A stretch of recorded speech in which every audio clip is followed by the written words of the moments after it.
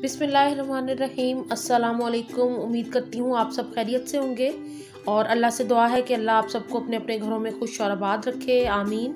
आज मैं आपके साथ एक बहुत ही सिंपल और इजी स्प्रिंग रोल की रेसिपी शेयर करने जा रही हूँ, जिसमें मैंने चिकन और वेजिटेबल्स का इस्तेमाल किया है। इस वीडियो में मैं आपको बताऊँगी कि आप स्प्रिंग रोल को बना के किस तरह फ्रीज कर सकते हैं। और तकरीबन एक माह तक ये फ्रिज में बहुत अच्छे रहते हैं। मेरे चैनल पे रमज़ान इफ्तार की और बहुत सी रेसिपीज़ हैं, उनको भी ज़रूर चेक कीजिएगा।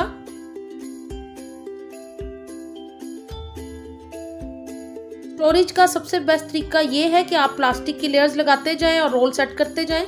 यहाँ पे दो टेबल स्पून मैंने घी के शामिल करती हैं, कढ़ाई के अंदर गर्म होने देते हैं इसको।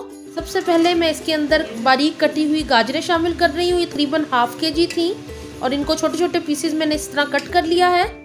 पे मैं बंद गोभी को शामिल कर रही हूँ। एक छोटा बंद गोभी का फूल था और यहाँ पे दो शिमला मिर्च बारीक कटी हुई शामिल कर रही हूँ। यहाँ पे रेड और येलो शिमला मिर्च को शामिल कर दिया है। यहाँ पे मैंने दो कप बॉयल श्रेडेड किया हुआ चिकन शामिल कर दिया, जिसको मैंने नमक और लहसुन डाल के बॉईल कर लिया था। अब मैं हसबे जायका इसमें नमक शामिल कर रही हूँ।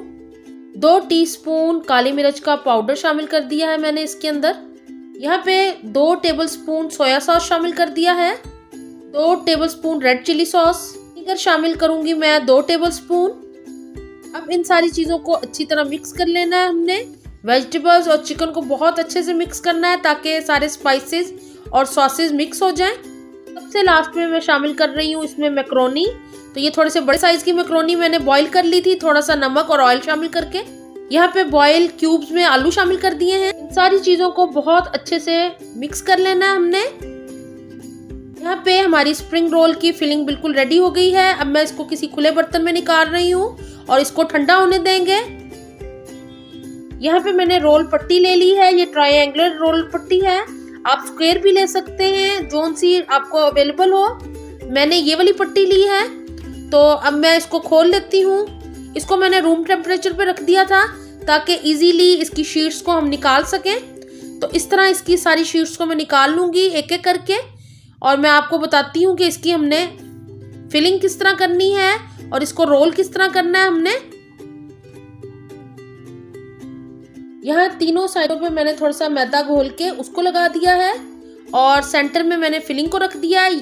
साइडों पे से इस तरह मैंने इसको फोल्ड करते हुए हल्का सा फिलिंग को प्रेस करना है अंदर की तरफ़ और हल्के हाथों से इसको रोल करना शुरू करना है इस तरह।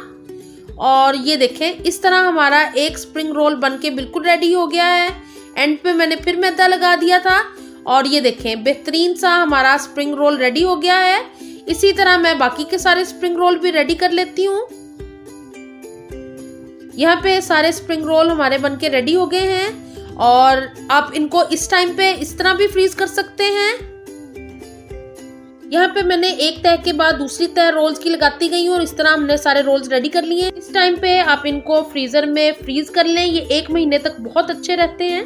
मुझे उम्मीद है कि आपको स्प्रिंग रोल की ये इजी सी रेसिपी अच्छी लगी होगी। अगर आपको वीडियो अच्छी लगी हो तो लाइक और शेयर करना बिल्कुल भी ना भूलिएगा। अगर आपने अभी तक चैनल सब्सक्राइब नहीं किया तो प्लीज़ ज़रूर कर लें।